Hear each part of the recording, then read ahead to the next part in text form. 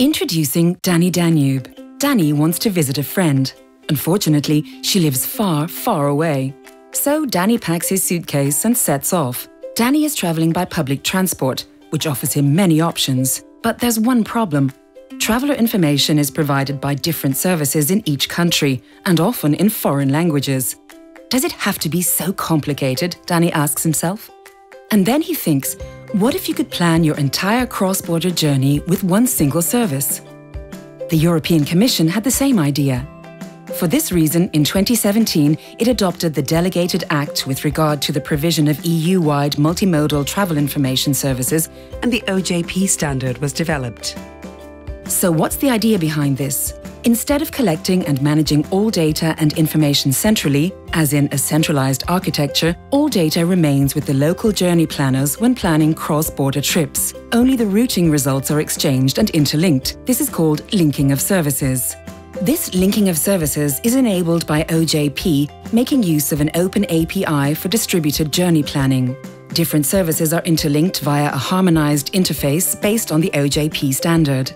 The feasibility of this system was analysed and successfully tested in practice within the Linking Danube project. Ten partners from six Danube region countries worked together within Linking Danube.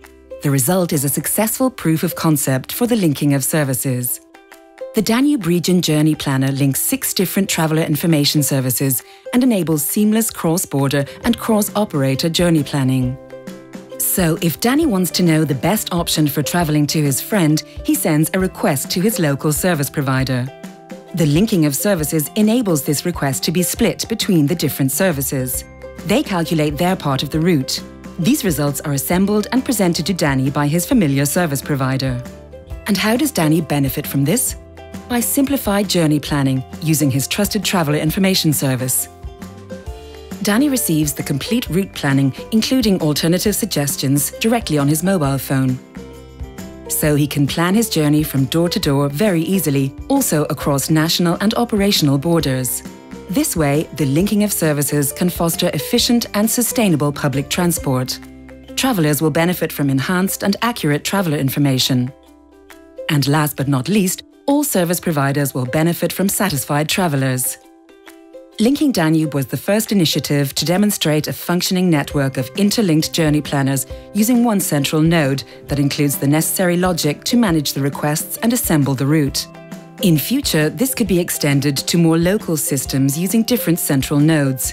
In any event, the travel information service providers retain their data sovereignty. Linking Danube was developed by Austria Tech together with nine project partners. The project is funded within the Interreg Danube Transnational Programme.